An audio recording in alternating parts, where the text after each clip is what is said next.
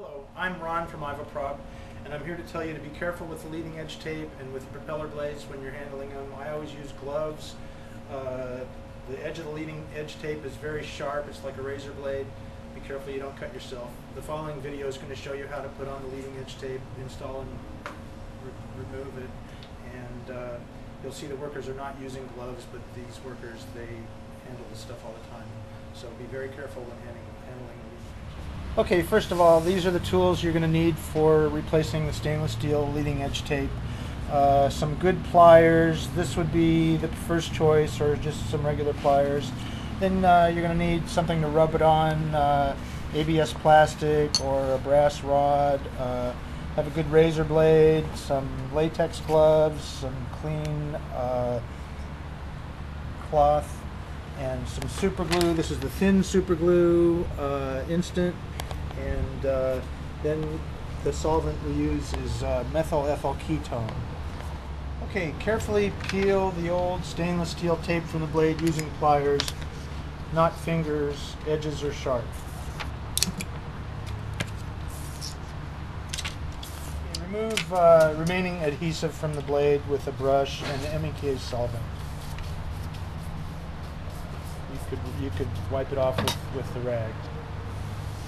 Using a razor blade, shave any superglue residue which has been applied along the edges of the tape. After you repair any dents with polyester gel coat or regular fiberglass resin, polyester resin, uh, clean the residue with the MEK and the cloth. A razor blade to get the uh, paper to start peeling off the leading edge tape do not touch the adhesive on the tape. The pointed end of the leading edge tape points to the center of the prop.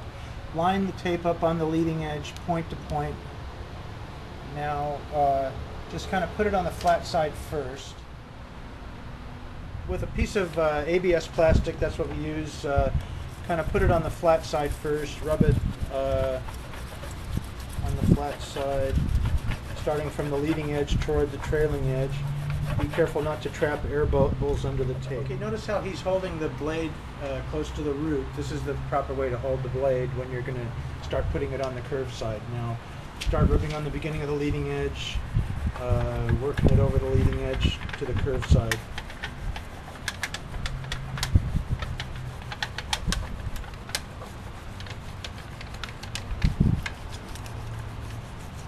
And it's best to use a piece of nylon or, or brass uh, to slide back and forth along the leading edge.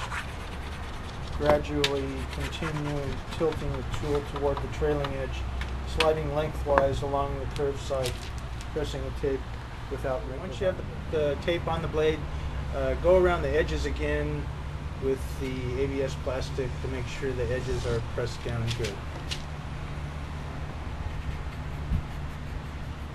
Careful the whole time that you're not going to cut your fingers. Okay, for applying the super glue, this is a thin, fast drying instant super glue. Hold the blade in this position and just put a little bit so that it goes along the edge. Now, uh, applying the super glue to the other side, hold the blade the same way and just use a little bit along the edge, just enough to seal it.